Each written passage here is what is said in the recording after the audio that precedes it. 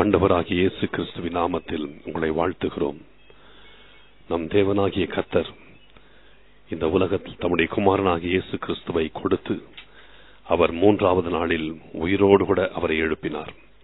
இன்றைக்கும் உயிரோடு எழுப்பப்பட்ட இயேசு கிறிஸ்துவுக்கு நம்மை தாமே முற்றிலும் அர்ப்பணித்துக் கொள்ள வேண்டும். அவர் தம்மை தாமே நமக்காக ஒப்புக் கொடுத்தது போல நாமும் அவருக்கு நம்மையே காணிக்கையாய் படைக்க வேண்டும். இந்த செய்தியின் மூலமாக கர்த்தர் உங்களுக்கு அர்ப்பணிக்க வேண்டிய காரியங்களை கற்றுக் கொடுப்பார். ஜெபத்துடனே கேளுங்கள். உங்களை அர்ப்பணித்துக் கொள்ளுங்கள். கர்த்தருடைய ஆசீர்வாதத்தை சுதந்திரித்துக் கொள்ளுங்கள். கர்த்தர் தாமே உங்களை ஆசிர்வதித்து காப்பாராக. ஆமேன். இயேசு கிறிஸ்துவின் உயிர் தேடுதலை நாம் நினைவு கூறும்படி தேவ சமூகத்தில் இருக்கிறோம்.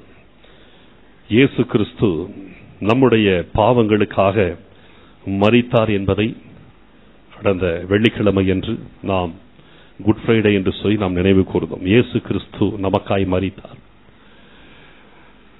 இயேசு கிறிஸ்துவை பிதாவாகி தேவன் தம்முடைய சொந்த குமாரன் என்றும் பாராமல் அவரை நமக்காக ஒப்பு கொடுத்தார் என்று வேதம் சொல்லுகிறது.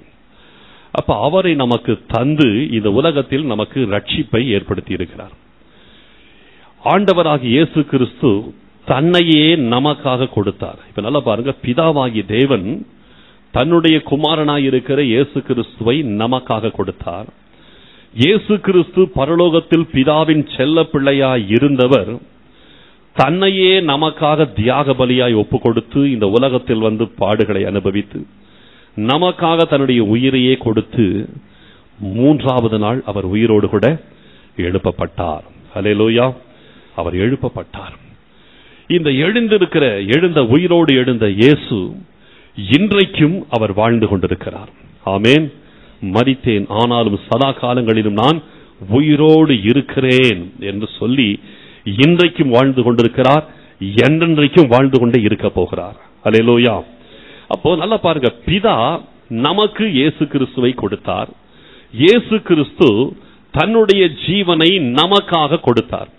இப்போ நாம அவருக்கு எண்ணத்தை கொடுக்க போகிறோம். அதுதான் முக்கியம்.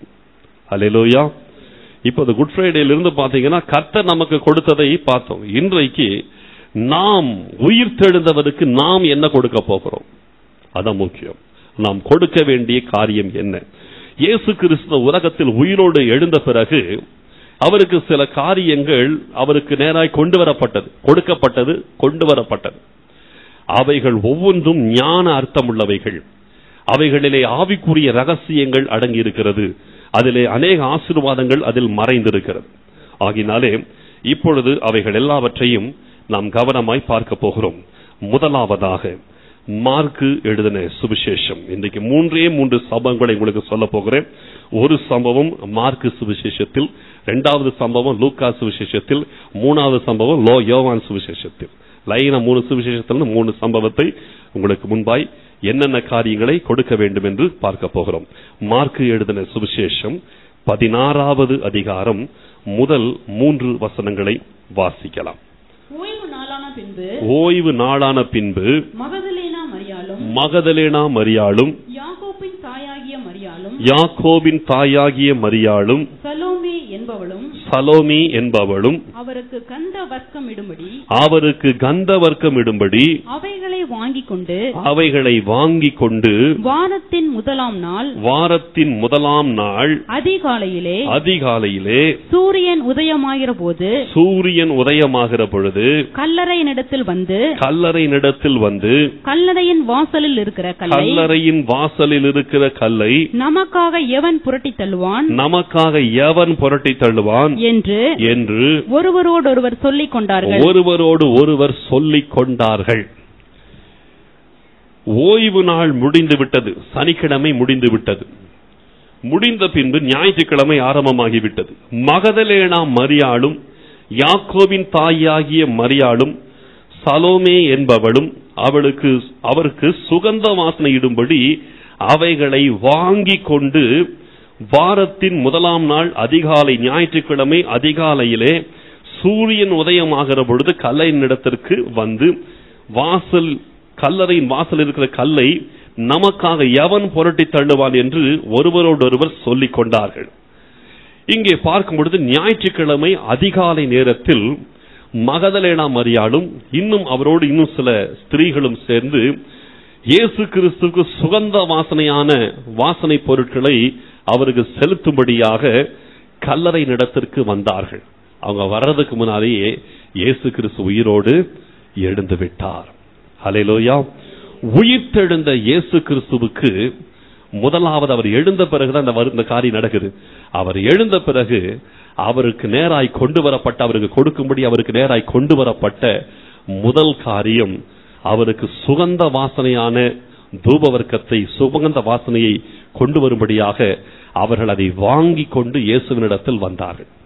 அப்ப ஃபர்ஸ்ட் உயிர்த்தெழுந்த இயேசு கிறிஸ்துவுக்கு நாம் எதை கொடுக்க வேண்டும் என்றால் சுகந்த வாசனையான கந்த வர்க்கத்தை கத்தருக்கு நாம் கொடுக்க வேண்டும். ஆமேன். சுகந்த வாசனை இடும்படிக்கு அவரிடத்தில் வந்தார்கள்.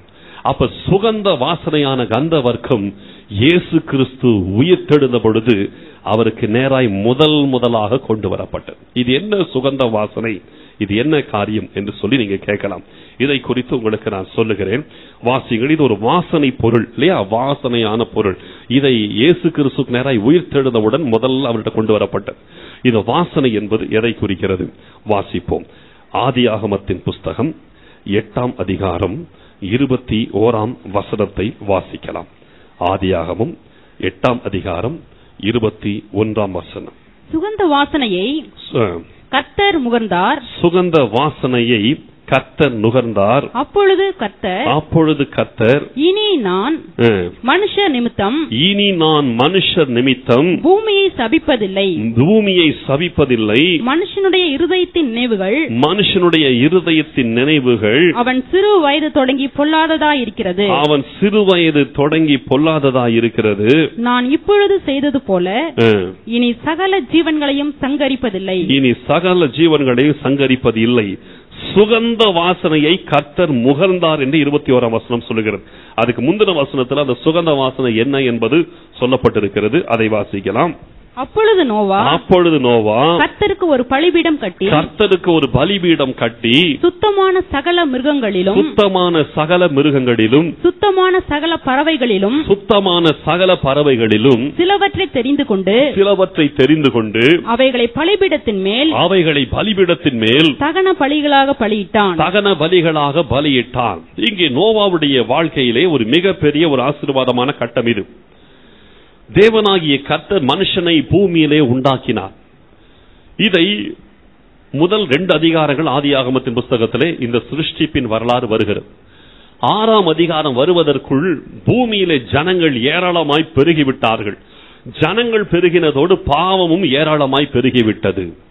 இப்படி பாவம் உலகத்தில் ஏராளமாய் பெருகின உடனே பூமியிலே மனுஷனை உண்டாக்கினது நிமித்தம் கர்த்தர் மனஸ்தாபப்பட்டார். அவர்களை முற்றிலுமாக நிக்கிரகம் பண்ண வேண்டும் முழுவதும் அழிக்க வேண்டும் என்று தேவனாகிய கர்த்தருடைய மனதில் யோசனை வந்தது. ஆகையினாலே கர்த்தர் அதை உடனடியாய் செய்யாமல் நோவா என்கிறதான ஒரே ஒரு நீதிமான் அந்த நாட்களில் உலகத்தில் இருந்தான்.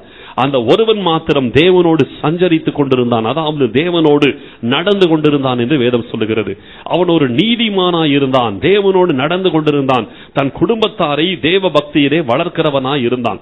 அப்படிப்பட்டதான் அந்த நோவாவிடத்திலே கத்தர் வந்து சொல்லுகிறார் நான் பூமியை முழுவதும் நிக்கிரகம் பண்ண போகிறேன். ஏற்கனவே சில நாட்களுக்கு முன்பாக இதை குறித்து உங்களுக்கு நான் சொல்லி இருக்கிறேன் கத்தர் அவனுக்கு சொல்லி ஒரு பேடையை உண்டாக்க சொன்னால் பின்பு ஜலப்பிரளயத்தை கத்தர் ஏற்படுத்தினார். அதற்கு இடையான காலகட்டம் கிட்டத்தட்ட நூறு வருடங்கள் கத்தர் ஒரு நீண்ட ஒரு காலத்தை கத்தர் அவளுக்கு கொடுத்தார். அந்த நூறு நூறு வருடங்கள் கத்தர் பொறுமையோடு காத்திருந்து நூறு வருடம் முடியும் பொழுது கர்த்தர் தன்னுடைய வார்த்தையின்படியே ஜலப்பிரளயத்தை பூமியிலே அனுப்பினார். வானத்தின் மதகுகள் திறவுண்டது மழை பெய்தது பூமியில் இருக்கிற ஊற்றுக்கண்கள் எல்லாம் திறக்கப்பட்டது. இப்படி கர்த்தர் பூமியையும் அதில் இருக்கிற எல்லாவற்றையும் ஜலத்தினாலே கர்த்தர் அழித்து போடுகிறார். அப்ப அதை அழிக்கிறதுக்கு முன்பதாக கர்த்தர் நோவாட்ட சொன்னார் நீ அழியாதபடிக்கு ஒரு பேழையை உண்டாக்கு. அதில் சகல விதமான ஜீவ ஜந்துக்கள் காட்டு மிருகங்கள் நாட்டு மிருகங்கள் பறவைகள் ஊரும் பிராணிகள் எல்லாவற்றிலேயும் சுத்தமானவைகளை ஏழு ஜோடிகளும் அசுத்தமானவனைகளை ஒரு ஒரு ஜோடிகளுமாக சேர்த்துக்கொள் என்று சொன்னார். சுத்தமான பறவைகள் ஏழு ஜோடி அசுத்தமானவைகள் ஒரு ஜோடி இப்படி கத்தர் சேர்க்க சொன்னார். ஏன்னா அதுக்கு ஒரு ரீசன் இருந்தது. அப்ப அதன் பிறகு அவைகள் எல்லாம் கிட்டத்தட்ட ஒரு வருடங்கள் அந்த பேழையிலே வைக்க கா- வைத்து காக்கப்பட்டது. காக்கப்பட்ட பின்பு ஒரு வருடத்திற்கு பிறகு ஒரு வருடமாக அந்த ஜலப்பிரளயத்திலே அந்த படகானது மிதந்து கொண்டிருக்கிறது. சரியாய் ஒரு வருடம் கழித்த பிறகு கத்தரதை அரராத் என்கிற மர- மலையிலே இறங்கும்படி செய்தார்.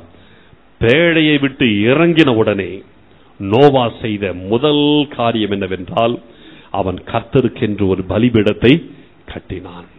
கட்டி கர்த்தர் ஏற்கனவே சொன்னது போல ஏழு ஏழு ஜோடி சுத்தமான பறவைகள் மிருகங்கள் சேர்க்க சொன்னார். ஆகினாலே அவைகளில் இருக்கிற அந்த சுத்தமான பறவைகளையும் சுத்தமான மிருகங்களிலும் சிலவற்றை அவன் தெரிந்து கொண்டு அவன் தேவ சமூகத்திலே அவன் அந்த பலிபீடத்திலே வைத்து தேவனாக கத்தருக்கு அவன் பலி செலுத்தினான். அந்த பலியின் வாசனையை கர்த்தர் நுகர்ந்தார் என்று வேதம் சொல்லுகிறது. அன்றைக்கு மகதலேனா மரியாளும் இன்னும் அநேக ஸ்திரீகளும் ஆண்டவராகிய இயேசு கிறிஸ்துவுக்கு சுகந்த வாசனையை கொண்டு வந்தார்கள். இந்த சுகந்த வாசனை என்பது எதை குறிக்கிறது? தேவனாகிய கர்த்தருக்கு சுத்த இருதயத்தோடு நாம் செலுத்தும் நன்றி உணர்ச்சியினால் ஆன சோத்திரபதிகளை குறிக்கிறது. ஒரு தேவ பிள்ளை நல்ல கவனிக்கணும். நம்முடைய வாழ்க்கையில் கர்த்தருக்கு சுகந்த வாசனை இட வேண்டும். மரியாள் மகதலேனா மரியாளும் மற்ற மரியாளும் இன்னும் அநேகரும் இயேசு கிறிஸ்து உயிர் தேடும் பொழுது ஃபர்ஸ்ட் அவங்களுக்கு சுகந்த வாசனை கொண்டு வந்தாங்க. இன்றைக்கு சொல்லுகிறேன் இயேசு கிறிஸ்து உயிர் தெழுந்திருக்கிறார் என்றால் அவருக்கு நம்ம முதலாவது கொண்டு வர வேண்டியது சுகந்த வாசனை பொருள். சுகந்த வாசனை பொருள். நம்ம இடத்துல என்ன இருக்கிறது? அவங்க விலை கொடுத்து வாங்கிட்டு வந்தாங்க. இல்லையா? வாங்கி கொண்டு வந்தார்கள் போட்டிருக்கு. அவங்க விலை கொடுத்து வாங்கிட்டு வந்தாங்க. ஆனால் கத்தர் இன்றைக்கு அதை விட லகுவாய் நம்ம வச்சிருக்கிறாரு. விலையே இல்லாமல் நம்ம அவருக்கு செலுத்தும்படிக்கு சொல்றார். அதுதான் அவருக்கு என்று நாம் செலுத்துகிற ஸ்தோத்திர பலிகளாய் இருக்கிறது. நல்லா யோசிச்சு பாருங்க. அன்றைக்கு நோவா ஏன் அதை செய்தான்? உலகம் முழுவதும் அழிஞ்சு போச்சு. எல்லா மனுஷங்களும் அழிஞ்சிட்டாங்க. பறவைகள் மிருகங்கள் ஜீவராசிகள் எல்லாமே போச்சு. நோவாவும் அவனுடைய குடும்பமும் மற்றும் அவன் பேழைக்குள் ஏற்றுக்கொண்டவைகளை தவிர எல்லாமே போய்விட்டது. அப்ப நினைச்சு பார்த்திருப்பான் உலகமே அழிஞ்சு போச்சு. எல்லா மனுஷங்களும் போயிட்டாங்க.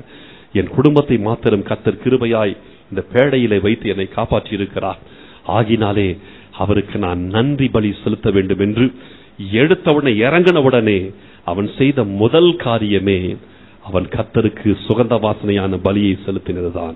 அந்த பலியின் வாசனை கத்தர் நுகர்ந்தார். இன்னைக்கு சொல்றேன் தேவ பிள்ளைகள் ஒவ்வொரு நாளிலும் கவனிச்சு பாருங்க உங்கள் ரட்சிப்பு அன்றைக்கு நோவாவை கத்தர் பேழையில வைத்து ரட்சித்தார். இன்றைக்கு இயேசு கிறிஸ்து மூலமாக கத்தர் உங்களையும் என்னையும் ரட்சித்திருக்கிறார். அந்த ரட்சிப்பை நம்ம நினைச்சு பார்க்கணும் ஒவ்வொரு நாளிலும்.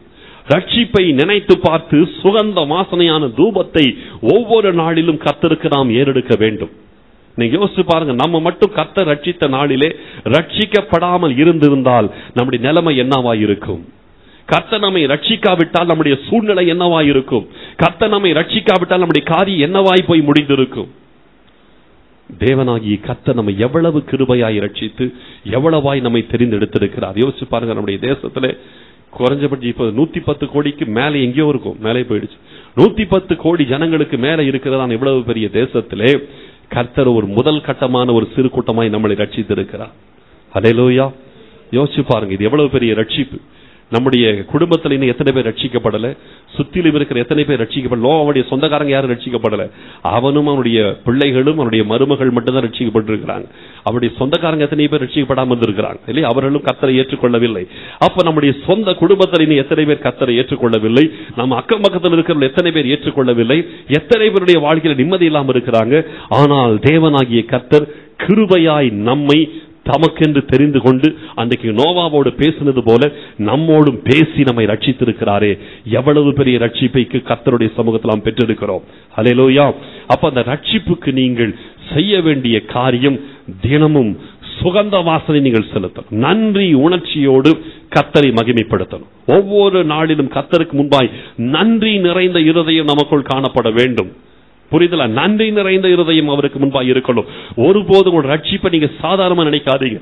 ஒவ்வொரு நாளிலும் கத்தர் செய்திருக்கிற பாதுகாப்பை நினைத்து நாம் கர்த்தரை மகிமைப்படுத்த வேண்டும். ஏன்னு கேட்டீங்க நல்லா கவனிச்சு பாத்தீங்கன்னா புதிய பாட்டிலும் சரி கர்த்தர் துதிகளை மிகவும் பிரியமா ஏற்றுக்கொள்ளுகிறவராய் இருக்கிறார்.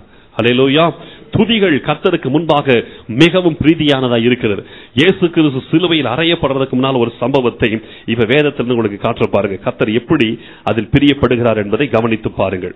உயிர் தெழுந்த இயேசு கிறிஸ்துவின் ஒரு சுபாவம். மத்தையு எழுதின சுவிசேஷம் இருபத்தி ஓராம் அதிகாரத்தை எடுத்துக்கொள்வோம். இருபத்தி ஓராம் அதிகாரத்தில் ஒன்பதாவது வசனத்தை முதலாவது வாசிக்கலாம். இருபத்தி ஒன்று ஒன்பது.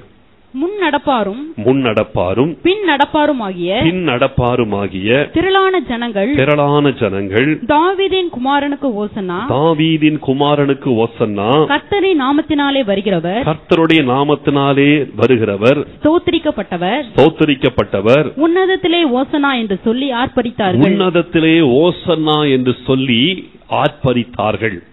இயேசு கிறிஸ்து எருசலேமுக்கு நேராய் பவனி வருகிறார். அப்ப அந்த எருசலேமுக்கு நேராய் பவனி வந்து கொண்டிருக்கும் பொழுது திரள் கூட்ட ஜனங்கள் ஓசன்னா கத்தருடைய நாமத்தினாலே வருகிறவர் ஸ்தோத்தரிக்கப்பட்டவர் தாவீதின் குமாரனுக்கு ஓசன்னா என்று சொல்லி அவரை ஆர்ப்பரித்தார்களாம். அந்த துதிகளின் நடுவிலே தான் இயேசு கிறிஸ்து பவனி வந்து கொண்டிருக்கிறார். அலையலோயா அப்ப துதிகளின் நடுவிலே தான் இயேசு கிறிஸ்து உலாவிக் கொண்டிருக்கிறார். உங்கள் வாழ்க்கையிலே கர்த்தர் மையத்தில் இருக்க வேண்டும் என்றால் உங்கள் வாழ்க்கை முழுவதும் துதியினால் நிறைந்திருக்கணும். உங்கள் ரட்சிப்பை நீங்கள் நினைக்கணும். உங்களுக்கு கத்தர் செய்திருக்கிற நன்மைகளை நினைத்து மகிமைப்படுத்தணும். இப்ப இந்த இடத்துல பாத்தீங்கன்னா இந்த ஜனங்கள் ஏன் கத்தரை துதிச்சாங்கன்றதுக்கு ஒரு காரி இந்த சம்பவத்தில் நீங்க பாத்தீங்கன்னா உங்களுக்கு விஷயம் புரியும். பதினான்காவது வசனத்திலிருந்து படிக்கலாம் தொடர்ந்து. அப்பொழுது அப்பொழுது அப்பொழுது குருடரும் சப்பானிகளும் குருடரும் சப்பானிகளும் தேவாலயத்திலே தேவாலயத்திலே அவரிடத்திற்கு வந்தார்கள். அவரிடத்திற்கு வந்தார்கள். அவர்களை சுஸ்தமாக்கினார். அவர்களை சொஸ்தமாக்கினார். அவர் செய்த அதிசயங்களையும் அவர் செய்த அதிசயங்களையும் தாவீதின் குமாரனுக்கு ஓசனா என்று தாவீதின் குமாரனுக்கு ஓசன்னா என்று தேவாலயத்திலே தேவாலயத்திலே ஆர்ப்பரிக்கிற பிள்ளைகளையும் ஆர்ப்பரிக்கிற பிள்ளைகளையும் பிரதான ஆசாரியரும் பிரதான ஆசாரியரும் வேத பாரகரும் கண்டு வேத பாரகரும் கண்டு கோபமடைந்து கோபமடைந்து அவரை நோக்கி அவரை நோக்கி இவர்கள் சொல்லுகிறதை கேட்கிறீரோ? இவர்கள் சொல்லுகிறதை கேட்கிறீரோ? என்றார்கள். அதற்கு இயேசு அதற்கு இயேசு ஆம் கேட்கிறேன். ஆம் கேட்கிறேன். குழந்தைகளுடைய குழந்தைகளுடைய வாயினாலும் வாயினாலும் பாலகருடைய வாயினாலும் பாலகருடைய வாயினாலும் துதி உண்டாகும்படி செய்தீர் என்பதை துதி உண்டாகும்படி செய்தீர் என்பதை நீங்கள் ஒரு காலும் வாசிக்கவில்லையா? நீங்கள் ஒரு காலம் வாசிக்கவில்லையா? என்றார்கள். எந்த இடத்துல ஏன் இந்த இடத்துல இங்க துதி இப்ப பெருகுது பாருங்க. அவர் பவனி வந்து கொண்டிருக்கும் பொழுது துதி வந்துட்டு இருக்குது. இப்ப பவனியாய் வந்து எருசலேமிலே தேவாலயத்துக்கு வந்துட்டாங்க. பாருங்க அந்த சுச்சுவேஷன் எப்படி இருக்கு பாருங்க. வரும் பொழுதும் ஏராளமான ஜனங்கள் துதித்து கொண்டு வந்தாங்க. இப்ப துதியோடு கூட வந்து இப்போ தேவாலயத்துக்கு வந்துட்டாங்க. தேவாலயத்துக்கு வந்த பிறகு அந்த இடத்துல குருடர்களும் சப்பானிகளுமான ஜனங்கள் இயேசுவின் இடத்துல வந்தாங்க. அப்படி வந்த உடனே அந்த நிக்கிறாங்க. வந்த உடனே அந்த குருடர்களை தொட்டு பார்வை கொடுக்கிறார். சப்பானிகளை கத்தர் குணமாக்கி விடுகிறார். அவர்கள் குணமாக்கப்பட்ட உடனே அதை கண்டு மேலும் ஜனங்கள் என்ன செய்கிறார்கள்? அந்த அதிசயத்தை கண்டு மேலும் கத்தரை ஆர்ப்பரிச்சாங்களாம். சின்ன பிள்ளைங்களும் சேர்ந்து கத்தரை ஆர்ப்பரிச்சாங்களாம். அந்த அவர் செய்த அதிசயங்களை கண்டு கத்தரை துதித்தார்கள். துதித்த உடனே ஆசாரியர்களுக்கு கடுங்கோபம் வந்தது. இவர்கள் சொல்லுகிறதை கேட்கிறீரோ? இயேசு நிதானமா சொன்னார். ஆம் கேட்கிறேன். ஆம் கேட்கிறேன். எதை கேட்கிறார்? அவருடைய துதியை கேட்கிறார். அலையலோயா ஆம் கேட்கிறேன். குழந்தைகள் வாயினாலும் பாலகர் வாயினாலும் துதி உண்டாகும்படி செய்தேன் என்று சொல்லி வேதத்தில் நீங்கள் ஒரு காலம் வாசிக்கவில்லையா என்று கேட்டார். நல்ல கவனிங்க. இயேசு கிறிஸ்து நம்மோடு இருக்கிறார். உயிர் தெழுந்தவர் நம்மோடு இருக்கிறார். இப்ப பாருங்க அந்த பவனியிலிருந்து உங்களுக்கு ஒரு சில காரியம் சொல்றேன். இயேசு கிறிஸ்து நடுவில் இருக்கிறார். முன்னடப்பாரும் பின்னடப்பாரும் ஓசன்னா கத்தருடைய நாமத்தில் வருகிறவர் ஸ்தோத்தரிக்கப்பட்டவர் என்று சொல்லி ஆர்ப்பரிச்சாங்களாம். இவங்க நேரா எங்க போறாங்க? எருசலேமுக்கு நேரா போறாங்க. நல்லா பாருங்க ஒவ்வொரு வார்த்தையும் கவனிச்சு பாருங்க. முன்னடப்பாரும் பின்னடப்பாரும் ஓசனா கத்தருடைய நாமத்தில் வருகிறவர் ஸ்தோத்தரிக்கப்பட்டவர். தாவீதின் குமாரனுக்கு ஓசன நான். யார் இந்த முன்னடப்பார்கள்? இயேசு கிறிஸ்து இந்த உலகத்தில் வந்து பிறகுறதற்கு முன்னாலே வந்தவர்கள். பழைய ஏற்பாட்டு பரிசுத்தவான்கள். ஆமேன். இயேசு கிறிஸ்து இந்த உலகத்துல வந்து பிறக்கிறதுக்கு இயேசு கிறிஸ்துக்கு முன்னால் ஒரு கூட்டம் பின்னால் ஒரு கூட்டம். புரியுதுங்களா? முன்னடப்பார் பின் நடப்பா ரெண்டு கூட்டம். முன்னடக்கிறவங்க யாரு? பழைய ஏற்பாட்டு பரிசுத்தவான்கள். தாவீது யோசிச்சு பாருங்க. ஒரே ஆராதனை தான் துதியும் சோத்திரமும் ஆராதனை தான் அவனுடைய வாழ்க்கை. அந்த தாவீதை தான் பின்னடப்பார்கள் சேர்ந்து சொல்றாங்க. தாவீதின் குமாரனுக்கு ஓசன்னா. நடுவில் இயேசு வந்து பிறந்தார். முன்னடப்பார் ஒரு கூட்டம். தாவிதை போன்ற ஒரு சிலர் ஆராதனை செய்து கத்தரை மகிமைப்படுத்திக் கொண்டு முன்னால நடந்தாங்க. நடுவில் இயேசு நடக்கிறார். இந்த பின் நடப்பார் தான் நீங்கள் நான் இயேசு கிறிஸ்துக்கு பின்னாலே நடந்து கொண்டிருக்கிற கூட்டம். அவர் வந்து பிறந்ததற்கு பின்பு ரட்சிக்கப்பட்டு பின்னால நடந்து கொண்டிருக்கிற கூட்டம். நம்மை பார்த்து கத்தர் சொன்னார் என் பின்னே வாருங்கள். நம்ம யார்? எங்க இருக்கிறோம்? பின் நடக்கிற கூட்டம். இயேசு கிறிஸ்துவுக்கு பின் நடக்கிற கூட்டம். என் பின்னே வாருங்கள். உங்களை மனுஷரை பிடிக்கிறவளாக்குவேன் அப்போ முன்னடப்பார் ஒரு பக்கம் ஆராதனை செய்யறாங்க நடுவுல இயேசு இருக்கிறார். பின்னடப்பாராகி நாமும் சேர்ந்து தாவீதின் குமாரனுக்கு ஓசனா என்று சொல்லி துதிகளோடு அந்த பவனை புறப்பட்டு போகிறது. நல்ல கவனிங்க. இப்படி துதித்தலோடு போகிற கோட்டை எங்க போச்சு தெரியுமா? எருசலேமுக்கு போச்சான் இது. இந்த கோட்டை எங்க போச்சு? எருசலேமுக்கு போச்சு.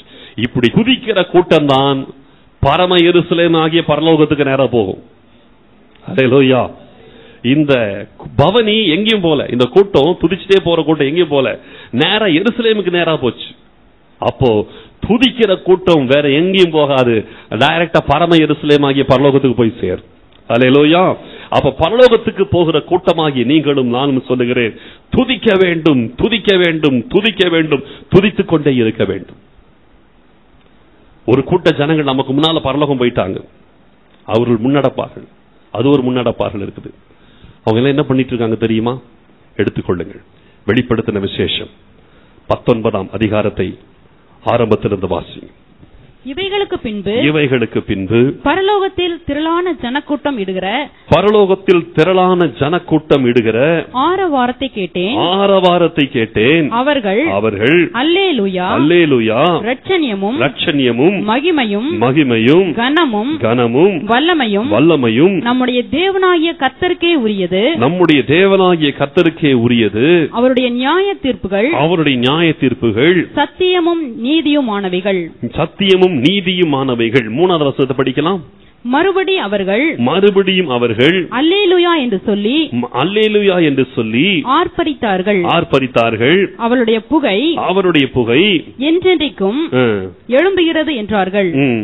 இருபத்தி நான்கு மூப்பர்களும் இருபத்தி நான்கு மூப்பர்களும் நான்கு ஜீவன்களும் நான்கு ஜீவன்களும். வணக்கமாய் விழுந்து பாருங்க பரலோகத்துல எப்படி இருக்கு பாருங்க வணக்கமாய் விழுந்து. ஆமேன் அல்லேலுயா. ஆமேன் அல்லேலுயா. என்று சொல்லி என்று சொல்லி சிங்காசனத்தின் மேல் வீற்றிருக்கும் சிங்காசனத்தின் மேல் வீற்றிருக்கும் தேவனை தொழுது கொண்டார்கள். தேவனை தொழுது கொண்டார்கள். மேலும் மேலும் நமது தேவனுடைய ஊழியக்காரரே நம்முடைய தேவனுடைய ஊழியக்காரரே அவருக்கு பயப்படுகிற சிறியோரும் அவருக்கு பயப்படுகிற சிறியோரும் பெரியோருமானவர்களே நீங்கள் யாவரும் அவரை துதியுங்கள். நீங்கள் நமக்கு சொல்றாங்க அவருக்கு பயப்படுகிற சிறியோரும் பெரியோருமானவர்களே நீங்கள் எல்லோரும் அவரை துதியுங்கள்.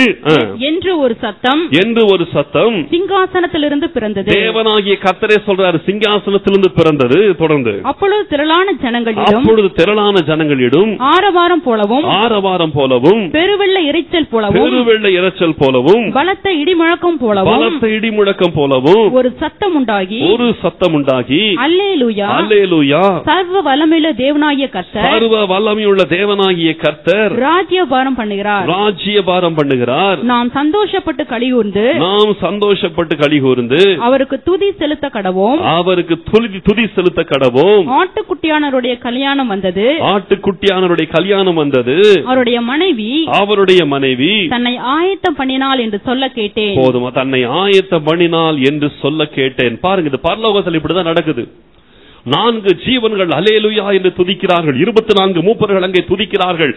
பெரு கூட்டமான ஜனங்கள் திரள் கூட்டமான ஜனங்கள் கத்தரை ஆர்ப்பரிக்கிறார்கள்.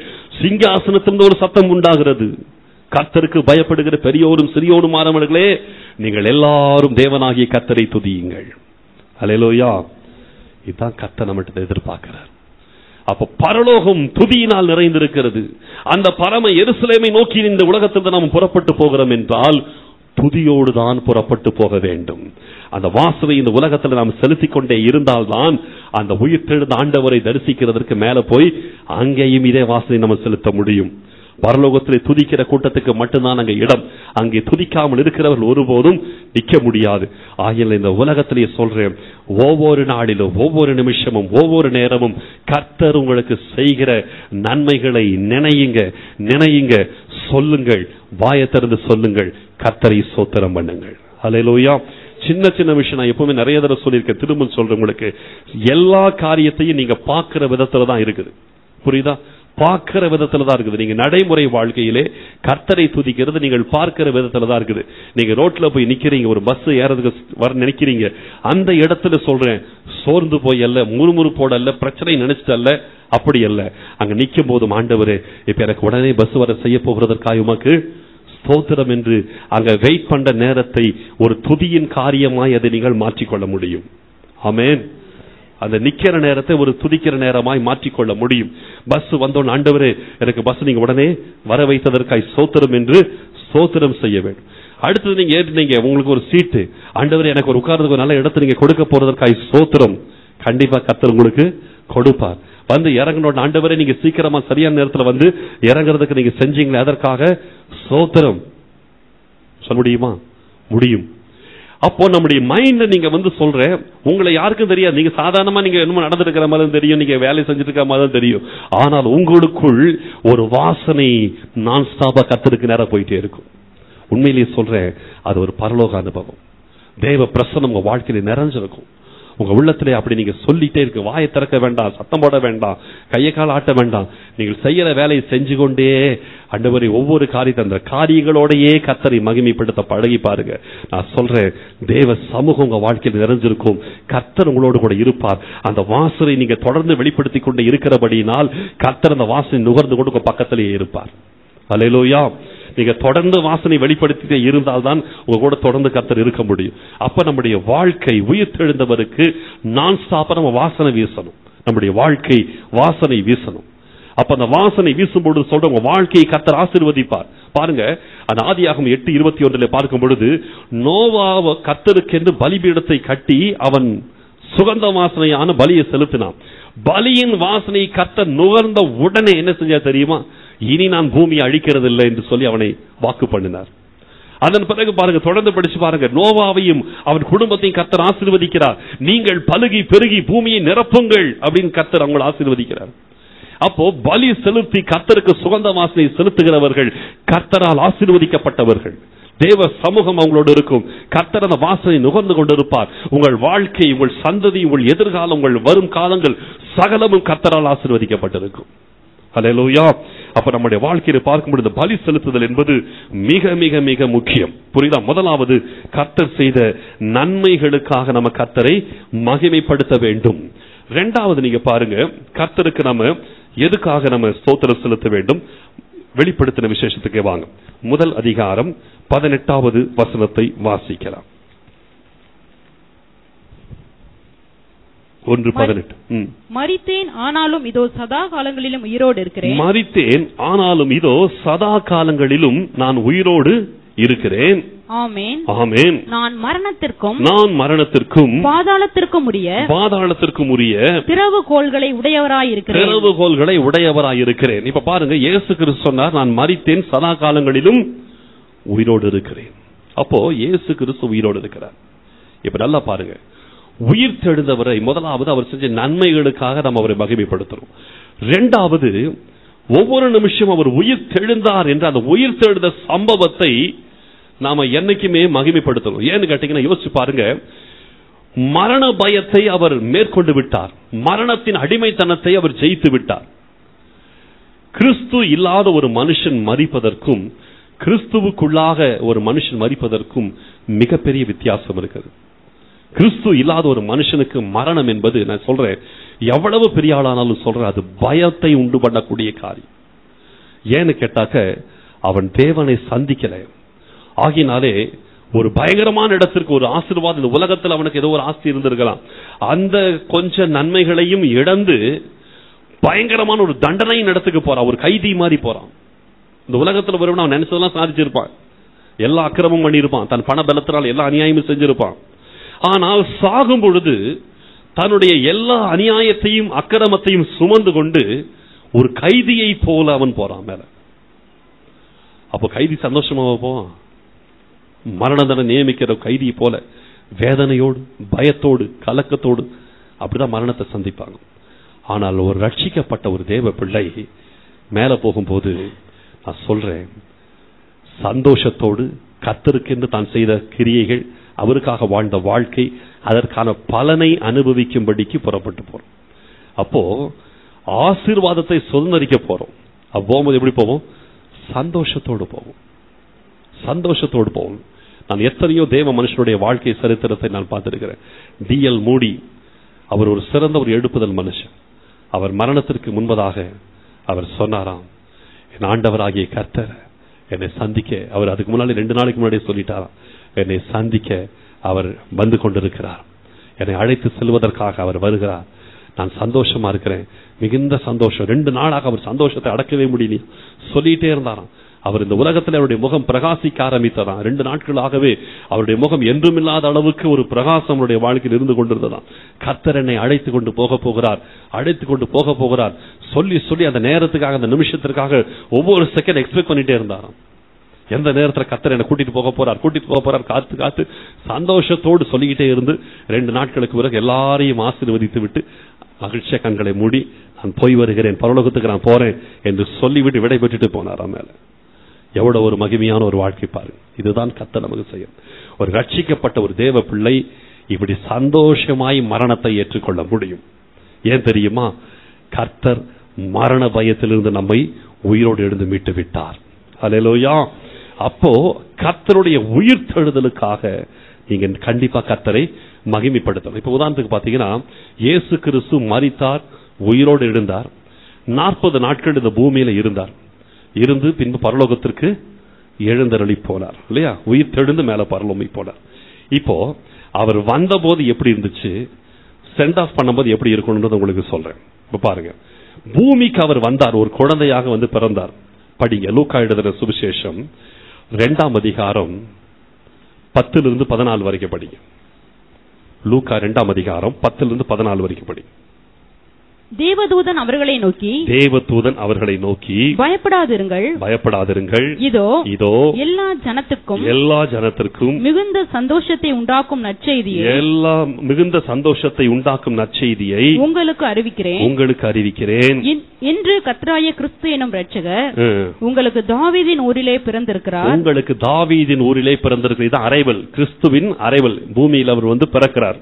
புரிய அரைவாகிறார். அப்புறம் பிள்ளையை துணிகளில் சுற்றி துணிகளில் சுற்றி முன்னணியிலே கிடத்தியிருக்க காண்பீர்கள். முன்னணையிலே கிடத்தி இருக்க காண்பீர்கள். இதுவே உங்களுக்கு அடையாளம் இதுவே உங்களுக்கு அடையாளம் என்றான். அந்த க்ஷணமே அந்த க்ஷணமே கவனமா கவனிங்க அவருடைய அறைவல் எப்படி இருக்குது பாருங்க. அந்த க்ஷணமே பரமசேனையின் திரள். பரம சேனையின் திரள். அந்த தூதனுடனே தோன்றி. அந்த தூதனாகி கேப்ரியலுடனே தோன்றி உன்னதத்தில் இருக்கிற தேவனுக்கு மகிமையும் உன்னதத்தில் இருக்கிற தேவனுக்கு மகிமையும் பூமியிலே சமாதானமும் பூமியிலே சமாதானமும் மனுஷன் மேல் பிரியமும் மனுஷர் மேல் பிரியமும் உண்டாவதாக என்று சொல்லி உண்டாவதாக என்று சொல்லி தேவனை துதித்தார்கள். தேவனை துதித்தார்கள். நல்ல கவனிங்க.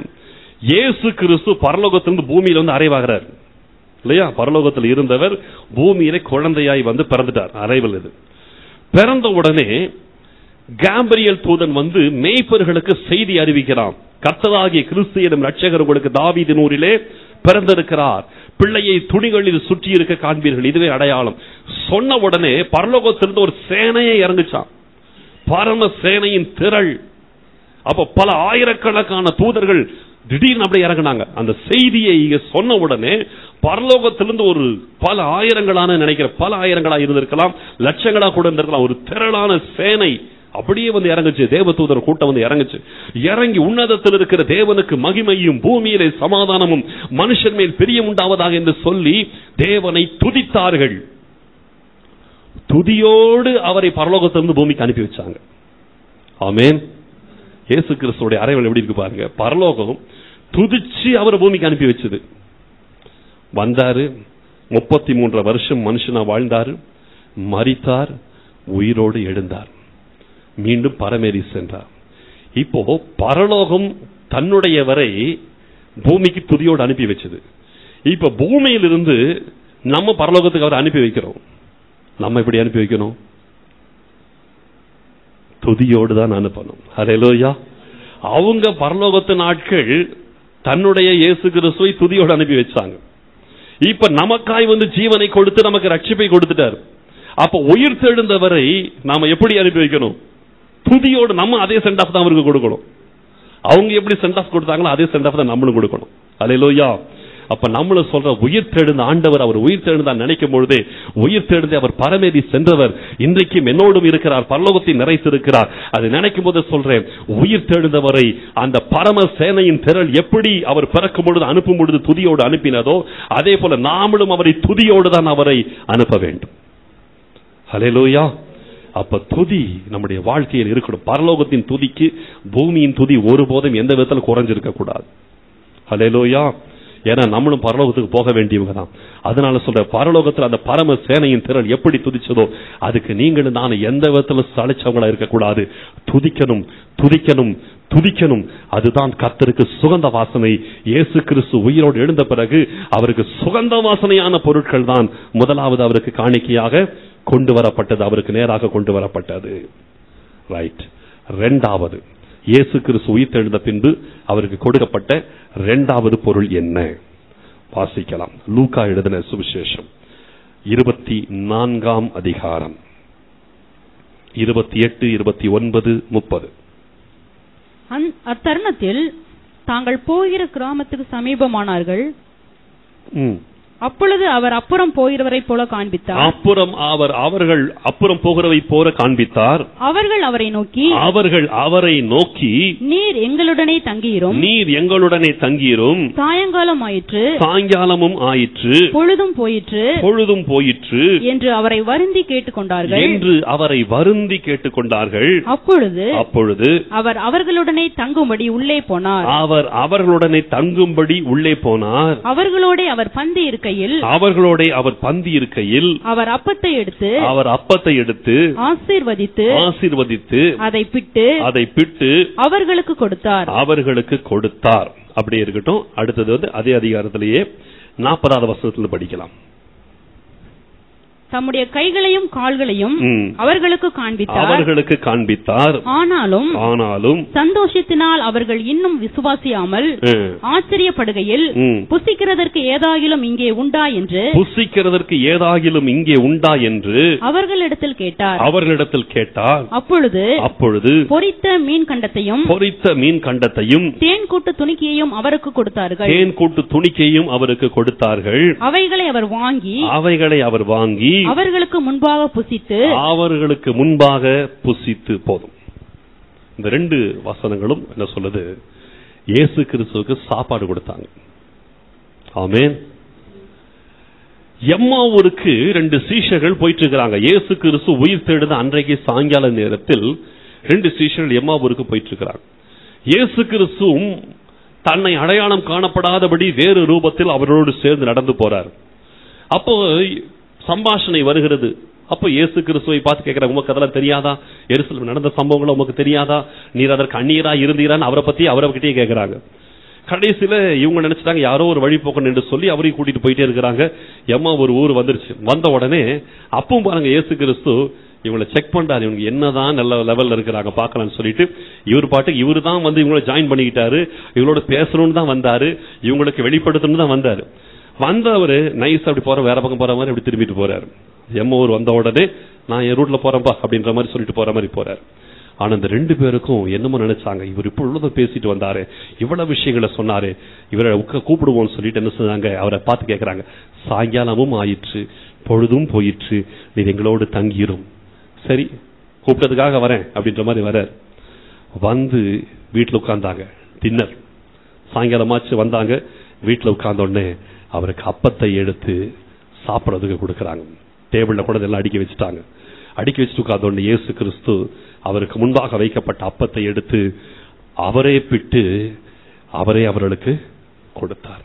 அவருக்கு முன்பாக அந்த சீஷர்கள் அப்பத்தை வைத்தார்கள். அடுத்த சம்பவத்தில் நாற்பது அதிகாரத்தில் பார்க்கும்போது நாற்பது வருஷத்தில் பார்க்கும்போது அடுத்த சம்பவத்தில் பார்க்கும்போது இவரே கேட்கிறார் புசிக்கிறதற்கு ஏதாகிலும் உங்களிடத்தில் உண்டா?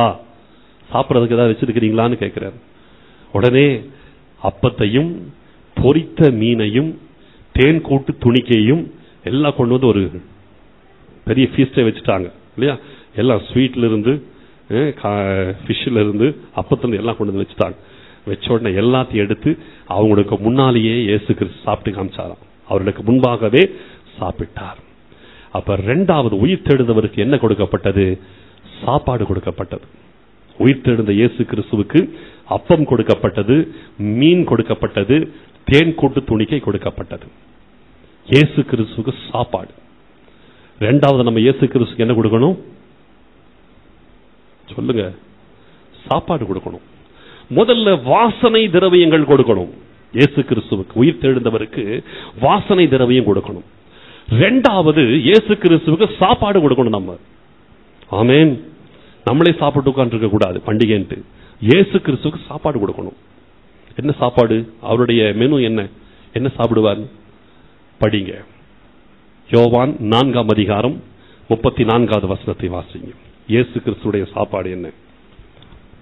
இயேசு அவர்களை நோக்கி இயேசு அவர்களை நோக்கி நான் என்னை அனுப்பினவருடைய சித்தத்தின்படி செய்து என்னை அனுப்பினவருடைய சித்தத்தின்படி செய்து அவருடைய கிரியையை முடிப்பதே அவருடைய கிரியையை முடிப்பதே என்னுடைய போஜனமாய் இதுதான் இருக்கிறது என்னுடைய மெனு இதுதான் என்னுடைய போஜனமா இருக்குதுன்ட்டார். ஆமென். இயேசு கிறிஸ்துடைய சாப்பாடு என்ன? அப்பமா மீனா? இல்ல. என்னை அனுப்பினவருடைய சித்தத்தின்படி செய்து அவருடைய கிரியைகளை முடிப்பதே என்னுடைய போஜனமா இருக்கிறது இதுதான் நான் சாப்பிட்றேங்கிற அலையிலோயா இந்த சாப்பாடு கொடுங்க. அப்பமும் மீனும் கத்தர் கேட்கல உங்கள் வாழ்க்கையிலே தேவ சித்தம் என்கிற சாப்பாட்டை இயேசு கிறிஸ்துக்கு கொடுங்க. அலையலோயா உயிர் தெழுந்த ஆண்டவருக்கு சாப்பாடு கேட்கிறார். கேட்டு வாங்குறாரு. புசிக்கிறதற்கு ஏதாகிலும் உங்களிடத்தில் உண்டா? கேட்கிறார். ஒவ்வொருத்தரையும் பார்த்து கேட்கிறார். புசிக்கிறதற்கு ஏதாகிலும் உங்களிடத்தில் உண்டா? தேவ சித்தம் செய்கிறவர் ஆண்டவரே வச்சிருக்கிற ஆண்டவரே. தேவ சித்தம் செய்யாதவர்கள் என்ன சொல்லுவாங்க? ஆண்டவரே ஒண்ணுமில்ல ஆண்டவரே நீங்க கேட்கறதான தேவ சித்தம் எங்கிட்ட இல்ல. எங்கிட்ட தேவ சித்தமே இல்ல. என் வாழ்க்கையில் தேவ சித்தமே நான் செய்யறது இல்லைன்றவங்க என்ன செய்வாங்க? வெறும் கையை தான் விதிக்கணும் அவர் கேட்கிறார் சாப்பிடுறதுக்கு புசிக்கிறதுக்கு ஏதாகிலும் உண்டா? அவருக்கு நல்ல ஒரு விருந்து வைக்கணும். மூணு வெரைட்டி கொடுத்தாங்க. இல்லையா? அப்பம் கொடுத்தாங்க பொடித்த மீன் கொடுத்தாங்க தேன் கூட்டு துணிக்கை கொடுத்தாங்க. அப்போ எவ்வளவு நல்ல ஒரு விருந்து கொடுத்துருக்கிறாங்க பாருங்க. உயிர் தெழுந்தவருக்கு இயேசு கிறிஸ்துவுக்கு சொல்றேன் வெரைட்டியா நீங்க விருந்து கொடுக்கணும். ஆமேன். வெரைட்டியா தேவ சித்தம் கொடுக்கணும். என் ஆவிக்குரிய வாழ்க்கையிலே நான் தேவ சித்தம் செய்கிறேன். என் வீட்டிலே நான் தேவ சித்தம் செய்கிறேன். என் வேலை ஸ்தலத்திலே நான் தேவ சித்தம் செய்கிறேன். ஒவ்வொன்றும் ஒரு ஒரு சாப்பாடு. வேலை ஸ்தலத்தில் தேவ சித்தம் செய்கிறீங்களா அது அப்பம். வீட்டில் தேவசித்தம் செய்கிறீங்களா செய்யறீங்களா அது பொரித்த மீன். மற்றும் நீங்கள் வேலை சர்ச்சில் தேவசித்தம் செய்கிறீங்களா செய்யறீங்களா அதுதான் தேன் கூட்டு துணிக்கை. புரியுதா? ஒவ்வொரு இடத்துல எங்கெங்கெல்லாம் தேவசித்தம் செய்கிறீங்களோ செய்றீங்களோ அதுதான் ஒவ்வொரு டிஷ் ஒவ்வொன்றும் ஒவ்வொரு டிஷ்ஷாக இருக்குது. அப்போ இயேசு கிறிஸ்துக்கு விதவிதமான டிஷ் நீங்கள் வைக்கணும். உங்கள் வேலை ஸ்தலத்துக்கு ஒரு டிஷ் வீட்டுக்கு ஒரு டிஷ் சர்ச்சுக்கு ஒரு டிஷ் இப்படி ஒவ்வொரு காரியத்திலும் தேவ சித்தத்தை செய்து அவர் கேட்கிறார் எனக்கு சாப்பிட்றதுக்கு ஏதாவது கொடுங்கன்றாரு. கொடுங்கள். ஆமேன். கொடுங்கள். இயேசு கிறிஸ்துக்கு சாப்பாடு கொடுங்க. அவர் கேட்கிறார் எனக்கு சாப்பாடு கொடுங்க. நான் பசியா இருக்கிறேன். எனக்கு சாப்பாடு கொடுங்கள். அப்ப இயேசு கிறிஸ்துடைய வாழ்க்கை நீங்க கவனிச்சு பாத்தீங்களானால் இயேசு கிறிஸ்து என்னைக்குமே அவர் இந்த ஆவிக்குரிய ஒரு தாகத்தோடு தான் ஆவிக்குரிய ஒரு பசியோடு தான் இன்றைக்கும் கேட்கிறார். அதை நம்ம கண்டிப்பா கொடுக்கணும். யோவான் எழுதின சுவிசேஷம் எட்டு இருபத்தொன்னுல இருபத்தி ஒன்பதுல இயேசு கிறிஸ்து சொல்லுகிறார் பிதாவுக்கு பிரியமானவைகளை நான் எப்பொழுதும் செய்கிறபடியால் அவர் என்னை தனியே இருக்க விடவில்லை. அப்போ அவருடைய வாழ்க்கை முழுவதும் தேவ சித்தத்தையே செஞ்சு அதையே அவர் டெய்லி சாப்பிட்டு இருந்தார். ஆமேன். அப்ப தினமும் தேவ சித்தம் தான் செய்யறேன்றார் அப்ப அதுதான் எனக்கு போஜனம்ன்றார் அப்ப டெய்லி அவருக்கு சாப்பாடு கொடுக்கணும். அலையலோயா நம்ம வாழ்க்கையின் மூலமாக தேவ சித்தம் என்கிற சாப்பாட்டை டெய்லி இயேசு கிறிஸ்துவுக்கு நீங்கள் கொடுக்கும்படி கர்த்த நம்மிடத்தில் எதிர்பார்க்கிறார். எந்த சின்ன விஷயமானாலும் சரி பெரிய விஷயமானாலும் சரி நம்முடைய வாழ்க்கையிலே கர்த்தருக்கு நாம் மகிமையான சாப்பாடு நம்ம கொடுக்கணும். நம்முடைய வாழ்க்கையில சூழ்நிலைகள் எப்படி இருந்தாலும் சரி தேவ சித்தத்தை செய்யறதை மட்டும் நம்ம ஒருபோதும் தவறக்கூடாது. சபை சரித்திரத்திலே செயின்ட் அகஸ்டின் அப்படின்னு சொல்லி ஒரு பரிசுத்தவான் இருந்தார். அவருடைய பெயர் அகஸ்டின். ஆனால் அவருக்கு செயின்ட் அகஸ்டின் என்று சொல்லி அவருக்கு பெயர் வழங்கப்பட்டது. கத்தோலிக்க குடும்பத்தில் பிறந்து கிறிஸ்துவை ஏற்றுக்கொண்டவர். அவர் இயேசு கிறிஸ்துவுக்குள் வர்றதுக்கு முன்னால மகா பெரிய துன்மார்க்கனாம். மோசமான குடிகாரன். எல்லா வம்பு பிரச்சனைகள் குழப்பங்களுக்கு அவர்தான் காரணமாய் அவ்வளவு மோசமான ஒரு துன்மார்க்கனாய் வாழ்ந்திருக்கிறார். அப்படிப்பட்ட நிலைமையில் இருந்த அவரை கத்தர் ரட்சித்தார். ரட்சித்த உடனே தன் வாழ்க்கை யோசிச்சு பார்த்தா நான் எப்படி இருந்த என்னை கர்த்தர் எப்படி மாத்தி இருக்கிறார் இனி நான் கர்த்தருக்கு ஒரு பரிசுத்தவானாய் நடக்க வேண்டும் என்று சொல்லி தீர்மானம் பண்ணி வாட ஆரம்பித்தார். அப்படி இருக்கும் பொழுது அவருடைய மாற்றத்தை யாருமே நம்ப முடியலையா? பல நேரத்துல பலர் வந்து கேட்பாங்களாம் வாயும் கூட போலாம் என்று பழைய நண்பர்கள். அப்ப கேட்கும் போது நான் ஒரே ஒரு வார்த்தை சொல்லுவாராம் the old Augustine is no more அப்படின்னு வரான் பழைய அகஸ்டின் உயிரோடு இல்லை. பழைய அகஸ்டின் உயிரோடு இல்லை. The old Augustine is no மோர்னு வரான் பழைய அகஸ்டின் உயிரோடு இல்லை. அவன் மறித்து போய்விட்டான். அந்த அகஸ்டின் மறித்து போய்விட்டான். நான் புதிய அகஸ்டின் என்னை பழைய ஆளை பார்க்காதீங்க. கடைசி வரைக்கும் அவர் ஒரு பரிசுத்தவனாய் வாழ்ந்ததினாலே சபை அவருக்கு வைத்த பெயர் செயின்ட் அகஸ்டின் என்று பெயர் வைத்தார்கள். அப்ப அவ்வளவு சிறந்த ஒரு பரிசுத்தவானாய் கடைசி வரைக்கும் தன்னுடைய வாழ்க்கையில தேவ சித்தம் என்கிற உணவை கிறிஸ்துவுக்கு அவர் கொடுத்து கொண்டே இருந்தார். ஆமென். ரைட் மூணாவது இயேசு கிறிஸ்துவுக்கு நாம் என்ன கொடுக்கிறது? யோவான் எழுதின சுவிசேஷம் இருபத்தி ஓராம் அதிகாரம் பத்து பதினொன்று ரெண்டு வசனங்களை வாசிக்கலாம். இயேசு அவர்களை நோக்கி இயேசு அவர்களை நோக்கி நீங்கள் இப்பொழுது பிடித்த மீன்களில் சிலவற்றை நீங்கள் இப்பொழுது பிடித்த மீன்களில் சிலவற்றை கொண்டு வாருங்கள் என்றார். கொண்டு வாருங்கள் என்றார். சீமோன் பேதுரு படவில் ஏறி சீமோன் பேதுரு படவில் ஏறி நூற்று ஐம்பத்து மூன்று நூற்று ஐம்பத்தி மூன்று பெரிய மீன்களால் நிறைந்த வலையை பெரிய மீன்களால் நிறைந்த வலையை கரையில் இழுத்தான். கரையில் எடுத்தான். இத்தனை மீன்கள் இருந்தும் இத்தனை மீன்கள் இருந்தும் வலை கிளியவில்லை வலை கிழியவில்லை. இயேசு அவர்களை நோக்கி இயேசு அவர்களை நோக்கி வாருங்கள் போஜனம் பண்ணுங்கள் என்றார். வாருங்கள் போஜனம் பண்ணுங்கள் என்றார். நல்ல ஆம், போதும். அப்ப இந்த இடத்தில் பார்க்கும்பொழுது பத்தாவது வசனத்தை வாசிக்கலாம். இயேசு அவர்களை நோக்கி. நீங்கள் இப்பொழுது பிடித்த மீன்களில் சிலவற்றை கொண்டு வாருங்கள் என்றார். போதும். அப்ப இந்த இடத்தில் இயேசு கிறிஸ்து மூணாவது அவரிடத்தில் கேட்கிறார். நீங்கள் இப்பொழுது பிடித்த மீன்களில் சிலவற்றை கொண்டு வாருங்கள். அப்ப பேதுரு தன் வலையை இழுத்து கொண்டு வருகிறான். அதில் நூற்றி ஐம்பத்தி மூன்று பெரிய பெரிய மீன்கள் இருந்துச்சாம். அந்த புதுசா பிடிச்ச அந்த நூற்றி ஐம்பத்தி மூன்று பெரிய மீன்கள் உள்ள வலையை இயேசு கிறிஸ்து கேட்கிறார். அதை கொண்டு வாங்கன்றாரு. அதை இயேசு கிறிஸ்துவுக்கு நேராக கொண்டு வருகிறான். ஒன்பதாவது வசனத்தை வாசிக்கலாம். அவர்கள் கரையிலே வந்திறங்கின போது கரையிலே வந்து இறங்கின பொழுது கரி நெருப்பு போட்டிருக்கிறதையும் கரி நெருப்பு போட்டிருக்கிறதையும் அதன் மேல் மீன் வைத்திருக்கிறதையும் அதன் மேல் மீன் வைத்திருக்கிறதையும் அப்பத்தையும் கண்டார்கள். அப்பத்தையும் கண்டார்கள். அதை கண்ட பிறகு இப்ப புதுசா பிடிச்சதையும் கொண்டு வாங்கன்றார். ஏற்கனவே கரையில வந்து வைத்திருக்கிறார். இப்ப நான் உங்களுக்கு அந்த சம்பவத்தை அப்படி சொல்ற பாருங்க. இயேசு கிறிஸ்து உயிர் தெழுந்த பின்பு சீஷர்களுக்கு அவர் அண்டையிலிருந்து தரிசனமானாலும் மறுபடியும் மறுபடியும் அவங்க பின்மாற்றத்துக்குள் தள்ளப்பட்டாங்க. இந்த இருபத்தி ஓராம் அதிகாரம் ஒரு வித்தியாசமான அதிகாரம். இந்த இருபத்தி ஓராம் அதிகாரத்தில் பின்மாற்றத்தின் உச்சகட்டத்தில் சீஷர்கள் இருக்கிறாங்க. பேதுரு ஒரு நாள் திபேரிய கடற்கரையிலே மற்ற இன்னும் ஆறு சீஷர்களோடு இருக்கிறான். திடீரென்று அவங்கள பார்த்து கேட்கிறான் நான் மீன் பிடிக்க போகிறேன் அப்படிங்கிறான். சொன்ன உடனே மற்ற ஆறு பேரும் நாங்களும் வருகிறோம் நாங்க. ஏழு பேரா புறப்பட்டு போய் திவேரியா கடற்கரையிலே அந்த இரவு முழுவதும் மீன் பிடிக்க போறாங்க. இரவு முழுவதும் அவங்க வலை போட்டு ஒரு மீன் கூட அவங்களுக்கு அகப்படவே இல்லை. ஏற்கனவே கிறிஸ்தவங்களை சந்தித்த நாள் நடந்தது போலவே மறுபடியும் அதே காரியம் ரீப்ளை நடக்குது. மறுபடியும் பார்க்குற ஒண்ணுமே நடக்கல. ஒரு மீனும் அகப்படாமல் இருக்கும்போது அதிகாலை நேரம் இருட்டான அந்த விடிகிற நேரத்தில் இயேசு கிறிஸ்து வந்து கரையில வந்து நின்றார். நின்று பிள்ளைகளேன்னு கூப்பிடுறார். அப்படி கூப்பிட்ட உடனே தான் இவர்களுக்கு ஃபர்ஸ்ட் அது இயேசு தெரியல. யோவான் அடையாளம் கண்டு கொண்டான் அவர் கர்த்தர் என்று சொல்லுகிறார் உடனே அடிச்சு பிடிச்சு அவங்க தடுமாறுறாங்க. அப்ப இயேசு கிறிஸ்து சொல்றாரு உங்க வலையை படகுக்கு வலது பக்கத்துல போடுங்கன்றார் சொன்ன உடனே வலையை தூக்கி வலது பக்கத்துல அப்படி போடுறாங்க. போட்ட உடனே வலை முழுவதும் பெரிய பெரிய மீன்களால் அக நிறைந்தது. நிறைஞ்ச உடனே அதை கொண்டு வாங்கன்றாரு கஷ்டப்பட்டு எடுத்துட்டு வராங்க. வந்து கரையில வந்து பாக்குறாங்க. பார்த்தால் ஏற்கனவே கறி நெருப்பு போடப்பட்டிருக்கிறது. அதிலே அப்பம் சுடப்பட்டிருக்கிறது அதிலே மீன் பொரித்து வைக்கப்பட்டிருக்கிறது எல்லாம் ரெடியா எல்லாம் ப்ரிப்பேர் பண்ணி இருக்குது இப்ப ப்ரிப்பேர் பண்ணி இயேசு கிறிஸ்து அந்த அதிகாலை வேளையில இவங்களுக்காக சமைச்சு இவங்களுக்காக ப்ரிப்பேர் பண்ணி வச்சுட்டு இவங்களை வந்து கூப்பிடுறாரு. பாவையின் பிள்ளைகள் இரவு முழுவதும் கஷ்டப்பட்டு மீன் பிடிச்சிருப்பாங்க டயர்டா இருப்பாங்க. வந்த உடனே சாப்பாடு கூட இவங்களுக்காக அப்பத்தை அவர் ப்ரிப்பேர் பண்ணி அவர் மீனை ப்ரிப்பேர் பண்ணிட்டு உட்கார்ந்துட்டு இருக்கிறார்.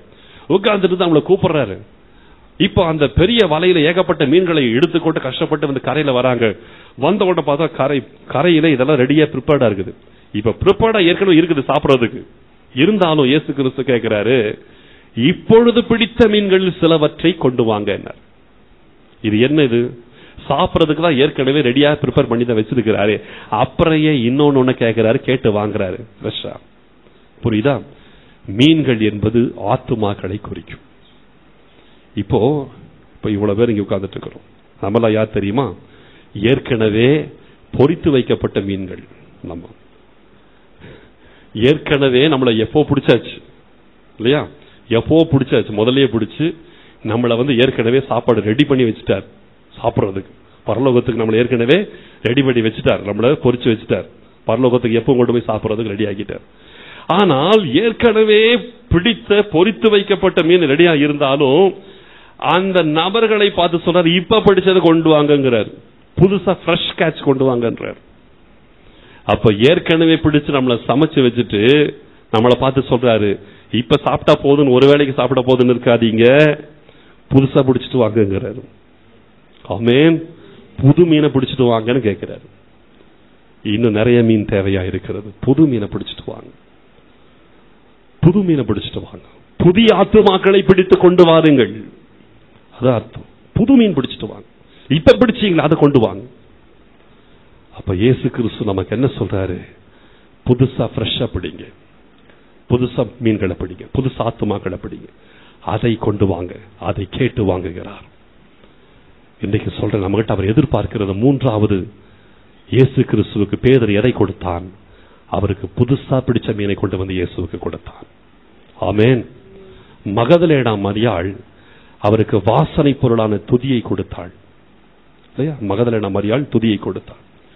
அடுத்தது பார்க்கும் பொழுது சீஷர்கள் எம்மாவிற்கு போனவர்கள் அவருக்கு அப்பத்தையும் மீனையும் தேன்கூட்டு துணிக்கையும் புசிக்க கொடுத்தாங்க. இங்கே பேதருவும் அவனோடு கூட இந்த பின்மாற்றத்துக்குள் இருந்த எல்லாரும் இப்பொழுது கர்த்தர் அவர்களை தூக்கி எடுக்க அவர்கள் எல்லாரும் புதிய மீனை கொண்டு வந்து இயேசு கிறிஸ்துக்கு கொடுத்தார்கள். அப்ப இயேசு கிறிஸ்துக்கு இன்னைக்கு நம்ம மூணாவது கொடுக்க வேண்டியது புது மீன்களை கொடுங்கள். தேவ பிள்ளைகள் இருக்கிறது ஒரு வாழ்க்கை. ஆத்துமாக்களை ஆதாயம் செய்யுங்கள். உயிர் தெழுந்த இயேசு கிறிஸ்து வாய் விட்டு கேட்கிறாரு. புதுசா மீனை பிடிச்சிட்டு வாங்கன்னு கேட்கிறாரு. புதுசா மீனை பிடிச்சிட்டு வாங்க. புதிய ஆத்துமாக்களை பிடிச்சிட்டு வாங்க. பெரிய பெரிய மீனை பிடிச்சிட்டு வாங்க. பாத்தீங்க நூத்தி ஐம்பத்தி மூன்று பெரிய மீன்கள். பாவத்துல பெரிய மீன். அதை பிடிச்சிட்டு வாங்க. அதை கொண்டு வாங்கன்றார். அப்ப நம்முடைய வாழ்க்கையிலே இந்த மூன்று காரியங்களையும் கர்த்தருக்கு நம்ம தவறாமல் கொடுக்க வேண்டும். நம்முடைய வாழ்க்கையில் இதுதான் மிக முக்கியமான ஒரு காரியமா இருக்கிறது. அதை நம்ம செய்யணும் நான் சொல்றேன். நம்ம கர்த்தருடைய சித்தத்தின்படி இருந்தால் தான் அதை செய்ய முடியும். இப்ப பாத்தீங்கன்னா அஞ்சாவது ஆறாவது வசனத்தை படிங்க.